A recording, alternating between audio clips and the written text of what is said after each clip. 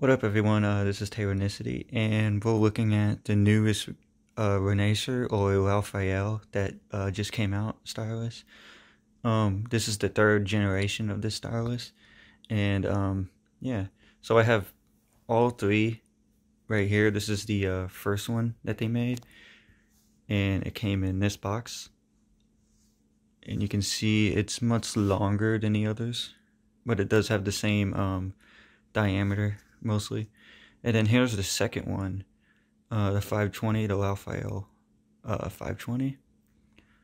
And I got the red one. And this is the newest one that just came out. Now, one of the things I noticed off the bat with uh, the third one is they added the uh, Bluetooth um, shortcut buttons, which is on the um, Microsoft official pin. That's something that was missing on the second generation. And also, it switched to USB Type C, which thank God. Um, that's way better than micro USB, which was on the second and I believe the uh, first. And they're becoming a lot more um, modern or a lot more um, legit. For instance, this is their new um, charger um, it plugs into USB Type C, and then with the pin, it just kind of magnetizes in there, and it can start charging, which I think is pretty cool. I think it's way better than how the uh, second and the first one charged, which you just straight up plugged into micro USB. And um, a lot of the problems that I had with the first and the second one are pretty much fixed on the third one, which is why I'm pretty impressed uh, with it so far. So I got Fresco open, and this is the uh, second Raphael. I don't know if I should call this the Raphael or the Renaisser. Um, but yeah, this is the second one. And one of the problems that the second one had, um, I don't know if I ever released my review on the second one, but one of the problems I had with it, which I've noticed the first one had this problem too, is it starts off super light and then it ends dark. So and I'll show you what I'm talking about. So this is the second one. I'm just going to make some quick strokes. And it, um, as you can see, the second one has this problem where you see it, it starts off light. See if I can circle that. But then it ends dark. So see right here, it kind of ends dark. You can even see this with my circles as this started off super light and then, you know, kind of ended dark. And I feel like that's like a registry problem. It's like regis uh, registering too late. I don't know. But yeah, that was one of the problems I've had with the uh, second one. And when it comes to 3D, that doesn't really get in the way, but I feel like it could if you're drawing. So now I'm just gonna, I'm gonna do the Microsoft pin next because um, even though I don't think the Microsoft pin has as good as a pressure curve as Raphael. I do think that it the slim pin did a better job at the second Raphael keeping a consistent color. It starts off, you know, not light and starts off at the same color and ends with the same color. So, yeah. People say that the uh, Microsoft pin comes in a little dark, which I can kind of see what people are talking about. But yeah, it keeps a consistent color. Now we're gonna test out the new Raphael, the uh, the third one.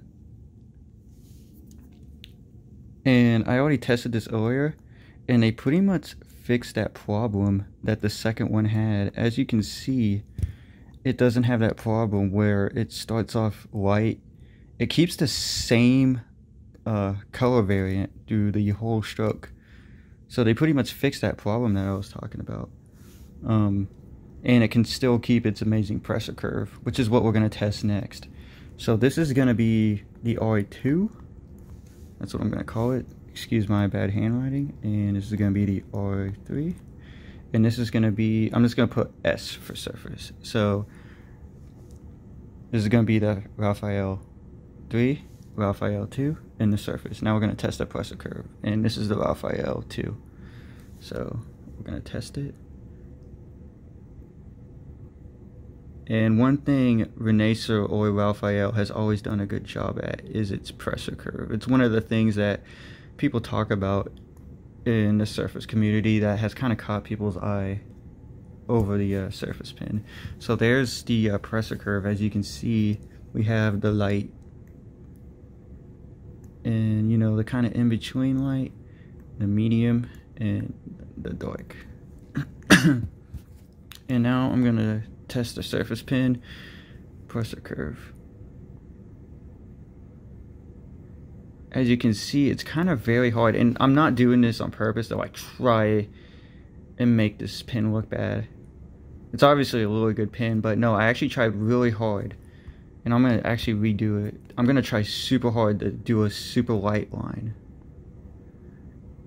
And I'm not joking. I barely pressed down on the screen and it came out like that. So, as you can see, and it does a good job at getting dark.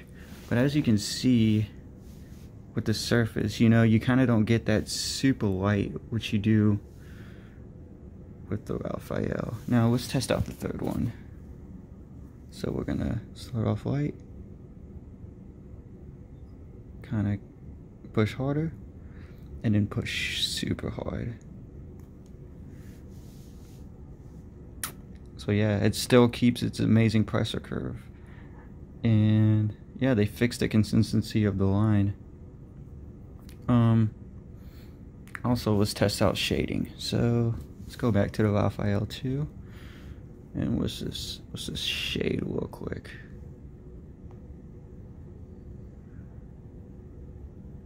So shading obviously works on all these three pins.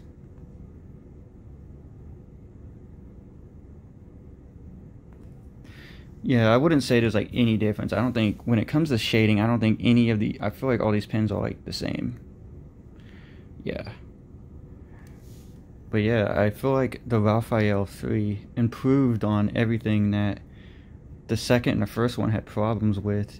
Um, it keeps the exact same body, which I also want to talk about. Um,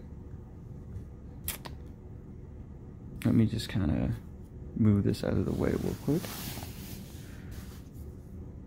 So it keeps the exact same body as the uh, second one.